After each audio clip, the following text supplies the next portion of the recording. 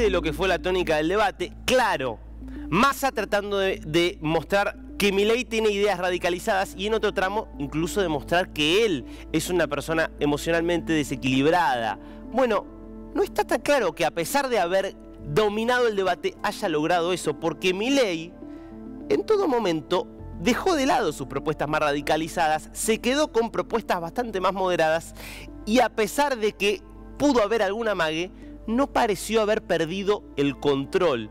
Bueno, al menos eso es lo que vieron muchos, pero me interesa específicamente la opinión, la visión, la mirada de Sergio Ruliki, que es doctor en comunicación social por la Universidad Austral y especialista en gestualidad. Sergio, ¿cómo le va? Lo saluda aquí Darío Misraji. Hola Darío, ¿qué tal? Mucho gusto. Sergio, como especialista en gestualidad, mm. ¿Qué es lo que vio usted del debate de anoche? Vi que Massa, como todo profesional de la política globalizada, porque esto no es solo acá, es un estilo, es un estilo internacional del político profesional, de cómo se presenta ante los medios un político, eh, eh, un político profesional, eh, es un experto en comunicación televisiva clásica en este sentido. Está muy entrenado y como todo animador, conductor o periodista de la televisión, porque ellos son los que le enseñan a los políticos a actuar en televisión, utiliza muy apropiadamente los gestos que realiza con sus manos para darle proyección de asertividad y de credibilidad a su discurso verbal se muestra aplomado, el rango emocional que muestra es contenido, no es muy intenso, aunque es capaz de mostrar emociones cuando hace storytelling, por ejemplo. Hmm. Tiene un buen nivel de ilustración facial de las emociones. Cuando él cuenta que había muerto alguien, habían matado a alguien a dos cuadras de la casa, un chico de 17 años y sale, hace lo que yo estoy haciendo, un poco más moderadamente, en mi frente. La arruga, vamos a decirlo si simplemente es más complejo que eso. Muestra preocupación. Eh, eh, muestra consideración emocional por lo ocurrido, se muestra empático, se, muestra emocional, pero emocional en el sentido muy diferente al de Milley, porque Milley muestra emociones exageradas por lo general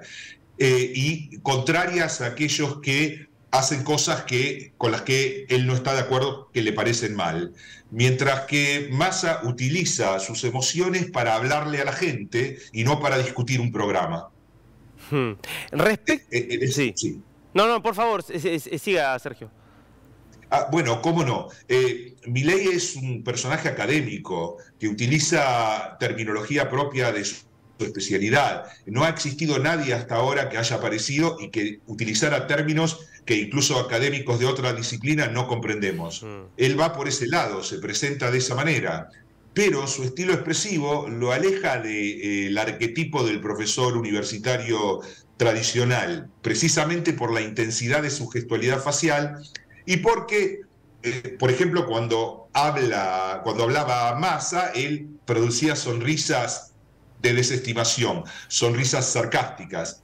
Eso le cae mal a alguna gente, no le interesó corregirlo porque a mucha gente le cae bien precisamente aquella que se opone a todo lo que representa Massa.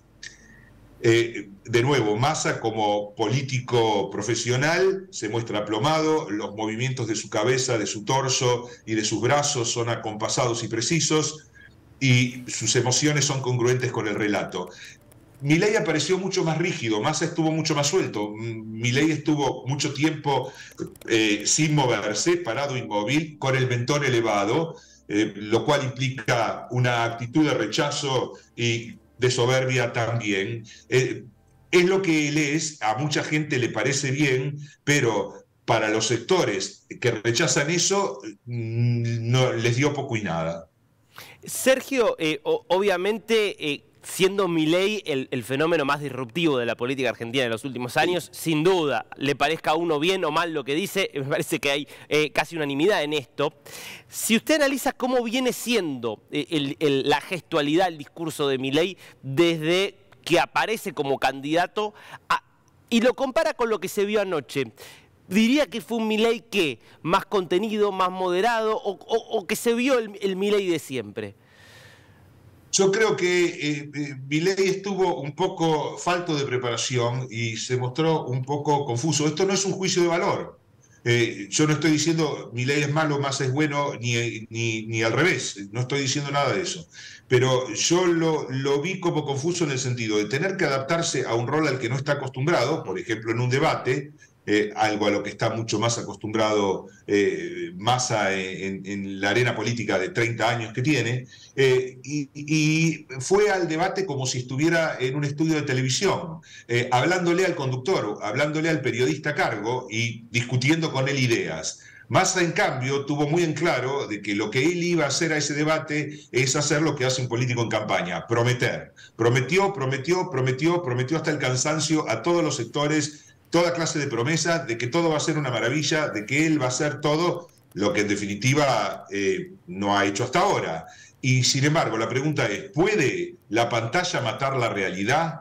¿Puede una imagen transmitida llegar a la gente con suficiente persuasión para que ésta se convenza que lo que está experimentando en la realidad eh, no tiene importancia porque la promesa es que después va a ser diferente?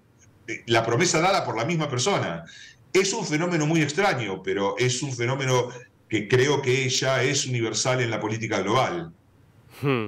Eh, eh, hay algo que, se vio en el, en el comienzo, sobre todo, y en el final, pero sobre todo en el comienzo, que es que, a diferencia de lo que fueron los debates anteriores, aquí los candidatos tenían la posibilidad de salir del atril y moverse. Massa eligió moverse, salir del atril, caminar un poco, acercarse al público. Milei se quedó fijo en el atril. ¿Qué está marcando un candidato que hace una cosa y el candidato que hace lo otro?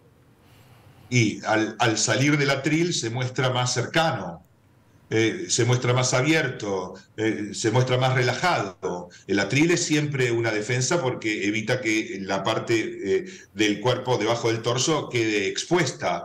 De todas maneras, Massa lo hizo solo en su presentación y en el hmm. cierre. En el resto se mantuvo detrás del atril. Es un recurso difícil, cuesta. Yo creo que después de hacerlo, Massa debe haber pensado si lo seguía haciendo o no y prefirió no hacerlo, porque realmente ese nivel de exposición sin el atril te produce, le produce al orador eh, una, un mayor, una mayor posibilidad de caer en un estado de nerviosismo, precisamente porque está más expuesto y el atril protege. Pero Massa utilizó un recurso eh, que Milei no usa, eh, porque yo creo que Milei es más genuino que Massa en el sentido de expresar sus emociones tal cual las siente en el momento, y que es la utilización de la voz, la utilización de las cualidades que en mi especialidad se llama paralingüística, las cualidades paralingüísticas. Massa utilizó una prosodia apaciguadora. Massa te habló todo el tiempo así. Va a estar bien, está todo bien, no hay nada de qué preocuparse. A veces levantó un poco el volumen, pero nunca, nunca como Milei, que sí al levantar más el volumen y por el tipo de voz que él tiene se vuelve más estridente. Massa evitó todo tipo de estridencia, se mostró lo más moderado que pudo también y al mismo tiempo firme. Eh, algo que yo creo que lamentable para, para el debate, eh, hubiera sido más interesante que Milei hubiera estado en sus mejores condiciones para generar un, debate más profundo. Pero aparte, hay una cuestión que no, quiero dejar de mencionar, eh, que es la siguiente en la forma en que estuvo estructurada el debate, con esos seis minutos que los candidatos podían usar como quisieran, eh, dio como resultado que eh, con, los distintos temas eh, fueran utilizando el tiempo de una manera distinta. Milei usó mucho de su tiempo en el primer segmento sobre economía. Después se dio cuenta que no le quedaba tiempo para responder a lo que dijera Massa y reguló más eh, eh, el tiempo de su discurso sobre los demás temas. Pero acá lo que pasó es que cuando ambos se fueron quedando sin tiempo, a mí me dio la sensación que se parecía mucho más a un juego del tipo Feliz Domingo, como sin repetir y sin soplar en 30 segundos palabras que dicen con la letra, porque las respuestas se iban volviendo cada vez más escuetas y chicaneras. O sea, finalmente hubo un momento que creo que fue en el que cayeron más bajo, porque justo el tema fue la convivencia democrática, en las que en la falta de tiempo lo único que se tiraban eran bombas. Claro. Claro. Eh, eh, me parece que fue una pena, eh, que fue una pena haberlo organizado así, y yo no sé por qué lo hicieron así. Hmm. me parece que ese sistema dificulta la altura del debate rebaja el debate que lo hayan hecho de esa manera. Eh, uno puede plantearse la hipótesis si puede haber algo intencional ahí. Eh, hubo cosas tales como que al principio del debate durante economía, Massa parecía más grande en la pantalla que Milei. Sí. aparecía reducido, tomado de más lejos. Massa estaba un paso adelante. ¿Quién era el director de cámaras? ¿Por qué estaban haciendo eso? Mm.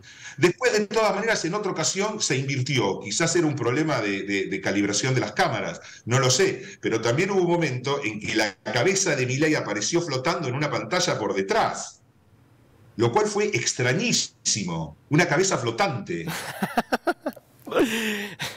en, en, un ambiente azul oscuro, que era una especie de caverna de Platón, digamos, para hacer una metáfora que quizás todo el mundo conozca, eh, eh, realmente es, yo creo que ha habido, y es un problema de los lenguajes, eh, mm. el lenguaje periodístico, televisivo, publicitario y político han confluido es casi idéntico. Hoy nos, el discurso, lo que dice un político primero arranca con un eslogan y después le da una bajada a eso y después amplía si tiene tiempo y es como si estuviera eh, leyendo un copy, eh, el copy de un aviso. Eh, esa confluencia entre todos estos lenguajes hace que el primer objetivo sea exclusivamente persuadir.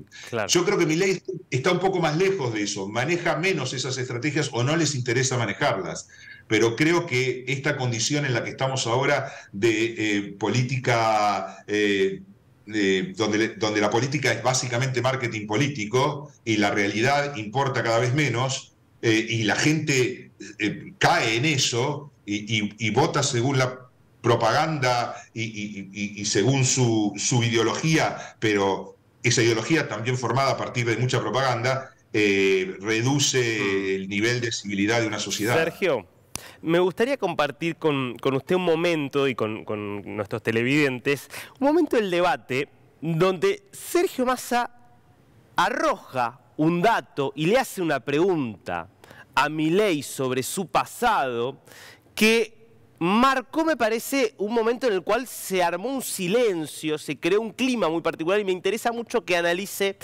las dos reacciones, lo que fue la forma de preguntar de Massa y la forma de responder de Milei. Escuchemos esta parte a la que me estoy refiriendo. ¿Cómo Hagamos el psicotécnico los dos, que te negaste. No, yo no me negué, yo, dije que, estaba dispuesto a hacerlo. Te negaste, preferiste... Pero ¿cómo me voy a negar a hacerlo si cada vez que entré en una empresa lo tuve que hacer? Vos que viviste siempre el Estado no lo hiciste nunca. Javier, si vos trabajaste en el Banco Central, ¿vos trabajaste en el Banco Central, sí o no? Sí, hice una pasantía, para eso no hubo que hacer ¿Y por qué no te la renovaron? ¿Qué tiene que ver, digamos? ¿Por qué no te la renovaron? Contale a la gente, Javier, ¿por qué no te la renovaron? Digo, digamos, este era un estudiante. Es muy importante porque es parte de esta discusión respecto de el psicotécnico. ¿Por qué no te la renovaron? Contale a la gente. Digo, quizás vos tampoco la Porque entiendo que estés enojado con el Banco Central y hables de destruirlo, porque en realidad en algún momento te sentiste rechazado. No se trata de sentirse rechazado y atacar lo que a uno lo rechaza, se trata de ir al abrazo, de lo que a uno lo rechaza. Pero de vuelta, digamos, era un joven, digamos, que ni siquiera estaba graduado. O sea, ¿cuál es el problema? ¿O acaso vos te crees que, digamos, la vida no tiene fracasos? Uno tiene fracasos, se pone de pie y sigue. Digamos, no como vos que seguís, fracasando siempre de la misma manera. Aprendí, por suerte, mucho de mis fracasos. Algunos lo compartiste conmigo porque entre el 2013 y el 2015 venías a las oficinas del Frente Renovador con Nielsen y con Giacomini a acompañarme. Y la verdad es que si hay algo que tengo que contarle a los argentinos es que sí, que de los fracasos, de los errores, aprendí y aprendí mucho y me forjaron y me templaron. Y por eso siento que este es un momento distinto de mi vida y siento que estoy para darle todo a la Argentina. Bueno, Sergio, ¿qué es lo que, vio usted de cuando Massa le empieza a decir, contá por qué no te renovaron la pasantía en el, en el Banco Central y cómo se pone mi ley ante ese cuestionamiento? ¿Cómo no? Yo creo que podemos encuadrar este segmento en algo más amplio que es la estructura de la comparación del estatus. Eh, la estructura de la comparación del estatus es un fenómeno que está presente en toda comunicación entre cualquier, entre cualquiera, cualquier individuo, entre dos personas cualesquiera, está presente la comparación del estatus. Esto significa que los mensajes que yo voy a emitir pueden ser eh, emitidos desde un lugar de superioridad, desde un lugar de paridad o desde un lugar de servicialidad. En este sentido, Massa lo domó continuamente Milei y es, resulta extraño que con la personalidad que venía demostrando Milei no haya tenido una reacción más fuerte, quizás por el hecho de tratar de cuidar, cuidarse de no dar una imagen demasiado exacerbada. Aún así, él eh, permitió claramente que lo domaran y lo que Massa dijo respecto de que Milei iba a sus oficinas, lo puso en el lugar de un subordinado. Y, y, no protestó, aparte de lo que le dijo del psicotécnico y la salud mental. Eh, a lo cual eh, respondió, en lugar de, de, responder, yo no sé cuál hubiera sido la mejor manera de responder a eso, quizás la no respuesta, pero llegó a decir, bueno, sí, ¿y vos? le dijo a Massa, o sea, vos me decís que yo tengo problemas, ¿y vos? Eso es una respuesta que uno daría en un contexto eh, interpersonal mucho más íntimo. Eh, Casi infantil. De alguna manera, ¿cómo? Casi infantil, digo. En este contexto sí, porque eh, no, Milley cayó en la estrategia de masa. no tuvo una estrategia preelaborada que le permitiera prever los ataques que iba a sufrir de parte de Massa, ni tuvo ataques preparados, como sí tuvo Villarroel, por ejemplo, mm. respecto de Rossi, que Sergio, comenzó solo... Sergio, todo lo que de este hombre es mentira. Sergio, le hago una última pregunta, lamentablemente nos, tenemos que ir eh, a una pausa, pero quiero preguntarle rápido esto. ¿No existe también la posibilidad de que ese Milei domado, hostigado, pueda también terminar generando más empatía que un Massa tan dominante? Sí, sí, sí, existe esa posibilidad. De hecho, ya he escuchado un comentario al respecto dentro de mi entorno familiar. Eh, bueno, cuando, Massa, cuando le reconoce a Massa que su trabajo en seguridad en Tigre había sido, bueno, error, no debería haberlo hecho estratégicamente, pero el hecho de que lo hiciera, eh, y por lo menos recibí un comentario a, ese respecto, de modo que pienso que es posible, fue que, eh, bueno, pero eh, estuvo bien, eh, le reconoció lo que le tenía que reconocer, como se mostró de manera diferente a lo impositivo que él normalmente suele ser. De modo que sí, le podría jugar a favor. Es muy difícil medir eso y yo creo nuevamente que el filtro ideológico es eh, el principal factor en nuestro país por lo menos, y creo que en todo el mundo también, para la decisión de voto final. La realidad cada vez cuenta menos porque vivimos en un mundo en que la realidad está mediatizada por las pantallas y donde lo que pasa en las pantallas tiene una influencia y una preeminencia sobre lo que sucede en la realidad que muchas veces es totalmente desconcertante, no se puede entender por qué es así. Sergio Roliqui, interesantísimo escucharlo. Gracias eh, por este tiempo con Muchas gracias.